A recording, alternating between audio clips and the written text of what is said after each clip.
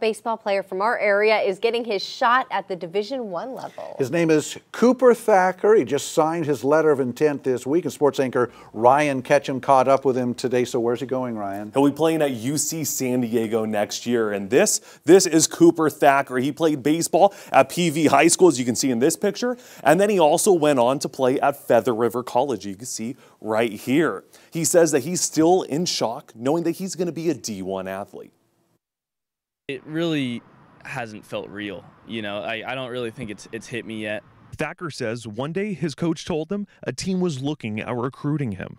And I got a phone call right as I, I parked in the bottom of the parking lot, and it said San Diego, and it was uh, Coach Harvey, uh, the, the pitching coach at, at UCSD. But the recruitment process is new for Thacker. He says that he wasn't recruited out of high school, and his senior year in 2020 here at PV High was cut short due to the pandemic.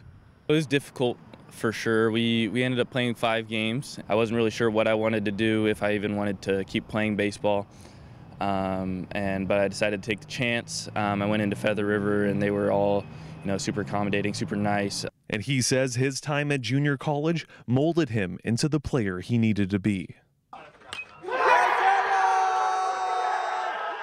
You know, being able to have that time kind of to myself to be able to figure out, you know, what the grind really means um, and what it takes um, was, I, I think, probably the most important takeaway. And despite the struggles he's faced through the years, Thacker says, If I had to do it all over again, I'd do the exact same thing.